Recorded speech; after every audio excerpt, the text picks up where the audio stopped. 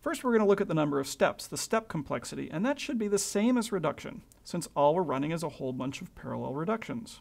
The reductions all have different sizes, so to get the overall step complexity, we need to look at the largest reduction, which is a reduction at the end here of all n elements.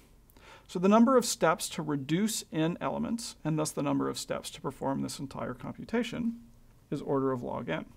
To compute the total amount of work, we notice that we're going to have n reductions to perform. The first reduction requires zero additions. The second reduction requires a single addition. The third reduction requires two additions. And in general, the nth output will require n minus 1 additions. And so what we're going to have to do is sum up that whole series, 0 plus 1 plus 2, on to n minus 1. And if we do add up that series, we're going to find that the result is roughly n squared over 2 additions. So the overall amount of work is proportional to the square of the number of elements. We would say that the number of additions overall is order of n squared. So while we like having a smaller number of steps than the serial version, remember that took O of n steps, this quadratic work complexity makes this formulation of scan ridiculously inefficient.